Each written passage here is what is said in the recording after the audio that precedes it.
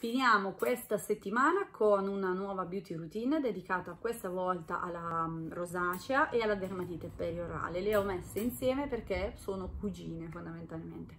Um, la diagnosi la farà sempre comunque il dermatologo, noi vediamo come prendercene cura, come migliorare un po' certi aspetti per quello che possiamo fare noi da casa da soli.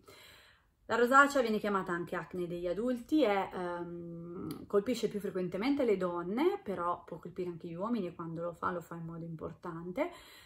mm, presenta il volto arrossato soprattutto in questa zona, quindi naso e guance, dove potremo avere dei piccoli anche vasi eh, superficiali rotti, quindi delle telangiectasie, dove potremo avere eh, delle, mh, mm, delle, papule piccoline, quindi dei rilievi eritematosi, ma anche delle piccole cisti o delle pustoline gialle, quindi avremo l'acne rosacea in questo caso Uh, a differenza però dell'acne classica non avremo come doni, uh, punti neri e punti bianchi non sono tipici di questo tipo di pelle, benché comunque risulti essere una pelle untuosa, seborroica, uh, con sicuramente una componente importante di infiammazione, di irritazione, quindi sarà una pelle molto sensibile, molto reattiva, che andrà a mm, reagire anche a stimoli esterni, quindi caldo, freddo, stress, emozioni, determinati cibi andranno a eh, accentuare questa situazione. Eh, è una pelle che mal sopporta anche troppi troppe cose sul viso, mal sopporta i lavaggi, mal sopporta le, le creme, soprattutto quelle pesanti o il trucco. Nella dermatite periorale ehm, possiamo non avere l'untuosità, ma sicuramente avremo la componente infiammatoria e eh, quindi una pelle reattiva e sensibile. Eh, abbiamo come caratteristiche diciamo delle pustolette intorno alla bocca, ai lati del naso e sulle guance. L'origine della rosacea non è uh, perfettamente conosciuta, sicuramente ci sono delle cause genetiche e ci sono queste componenti esterne che vanno ad accentuare il problema. Uno degli imputati è uh, un piccolo parassita, un acaro, che normalmente um, risiede nelle ghiandole sebacee, ma che nell'acne rosacea è presente in quantità maggiore, ehm, mentre la dermatite periorale è tipica delle donne e può essere dovuta a un uso prolungato di eh, creme cortisoniche, a, a, un uso prolungato di dentifricio colluttori al fluoro o eh, di certi tipi di cosmetici o di fragranze. Um, la rosacea tendenzialmente ovviamente si manifesta a livello di cute, però può avere anche un legame con dei, delle problematiche a livello di apparato digerente, quindi è facile che in chi ha rosacea ci siano anche delle manifestazioni nel tratto digerente come può essere una gastrite o comunque disturbi eh, dell'intestino. E um, anche diciamo una componente comunque psicologica dietro, quindi um, dovremo tener conto che magari è il caso di riequilibrare un po' tutto l'assetto.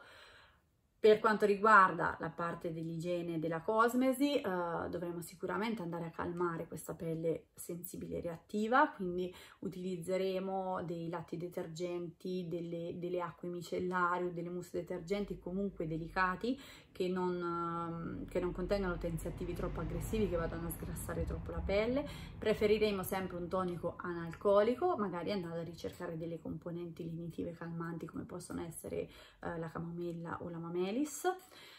Non utilizzeremo creme untuose, creme pesanti, ma utilizzeremo delle creme, dei sieri, dei gel leggeri, più eh, acquosi per idratare senza andare a caricare con sostanze nutrienti e quindi sicuramente eviteremo tutto quello che sono siliconi e petrolati che non farebbero altro che peggiorare la situazione. Uh, magari potremmo utilizzare di giorno anche una crema con delle componenti lenitive, quindi uh, avena, camomilla, mamelis, uh, tiglio, e, ribes nero, eccetera. E la sera, se siamo particolarmente arrossati, infiammati, andare ad applicare la solita pasta per il cambio del pannolino dei bebè contenente ossido di zinco, sempre senza petrolati, di cui vi ho già parlato nei casi di acne.